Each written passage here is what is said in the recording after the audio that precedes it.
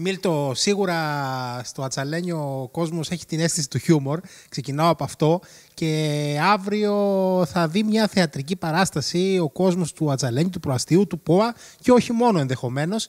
Μια παράσταση μέσα στον αγωνιστικό χώρο είναι νομίζω κάτι ιδιαίτερο. Άλλωστε ε, σε αυτή την ομάδα δεν είναι μόνο το ποδόσφαιρο πάντα στο προσκήνιο, υπάρχουν και άλλα πράγματα. Σωστά. Καταρχήν καλησπέρα σας. Ευχαριστούμε για τη φιλοξενία.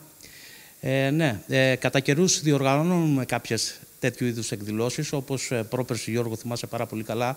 Είχαμε κάνει μια παράσταση με τον Καραγκιόζιο, η οποία ήταν πάρα πολύ επιτυχημένη.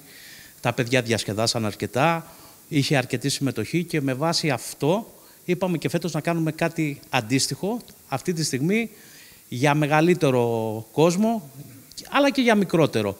Ε, το έργο είναι πάρα πολύ διασκεδαστικό. Ε, ε, είναι μπουνταλάδες, είναι μια κομμωδία. Τα καθέκα θα σας τα πει ο Μανώλης ο Ζεμπέκης, ο οποίος είναι και σκηνοθέτης της παράστασης.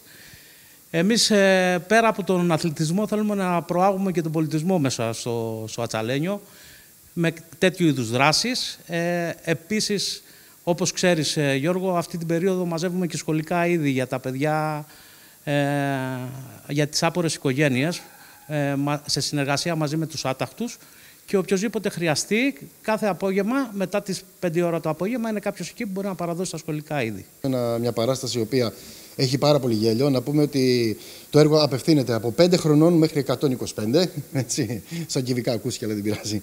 Ε, ε, θα διασκεδάσει πάρα πολύ ο κόσμος, είμαι σίγουρος.